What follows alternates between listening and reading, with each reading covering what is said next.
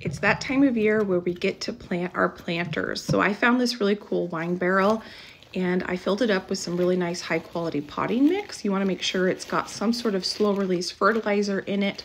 We're gonna fill this up to the top and then I'm gonna go shopping in my collection of plants that I have purchased from local nurseries slash some of these I've started myself from seed. So I'm gonna get a collection of a few different things. I'm looking for some vining plants, some plants that have a little bit of height. So here is what I chose. We are gonna get those all planted in and then watered really well. Happy gardening.